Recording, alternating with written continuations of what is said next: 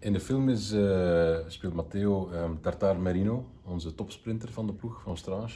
En ik speel eh, Dominique Chabot, zijn een meesterknecht en lead-out man. Met een helper eigenlijk. Dus De domestiek. Ik was heel blij dat Louis mij op elk, elk moment van de dag Samen kon scheren, bijsturen. nee. Samen benen scheren, Oh, samen diëten. Echt Samen poesies alles, waren ja. tijdens die Ja. opnames. Ik heb een vrij intensief dieet gevolgd. Eh, toch Mhm. gedurende drie maanden echt wel aan het tegenwoordig zeer hippe intermittent fasting gedaan.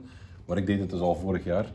En dat is lijf iets- is altijd in orde. Ja, maar nee, nee, is nee. altijd... Maar dat is iets dat voor mij wel zeer goed werkt. En ik heb vooral gezocht naar de ju- juiste taal of zo. Ik, eh, ik had, ik had nog niet heel veel in het Engels gespeeld, maar ik vond het heel leuk dat de Engels nu dat de Engels mocht zijn met haar op, dat de Engels mocht zijn met een Italiaanse tongval. En ik heb me daar ontzettend mee geamuseerd en heel vrij gevoeld. Dus ik kon er ook meer echt Italiaan pakken. Dat mochten ze met plezier doen. Maar- Maar, echt Italianen spreken niet zo goed Engels, denk ik. Nee, en Kieran heeft me ook verteld dat hij effectief naar Italië is geweest. Mhm. Acteurs gaan zoeken die en konden een wielrenner spelen en de juiste leeftijd hadden. En hij, ja, then I, then I found Matteo. Mhm. And he, he speaks all the languages. That's perfect. so I, I, I took him. Ik zei, Matteo? Ja, Matteo, maar Simone. Simone.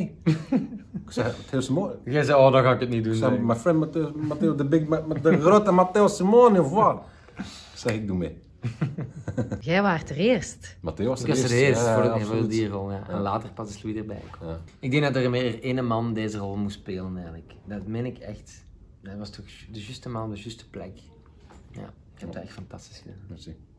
No, sorry. Maar dat is echt, kom aan, dat is echt een tour de force. Jullie zijn eigenlijk allebei verse vaders.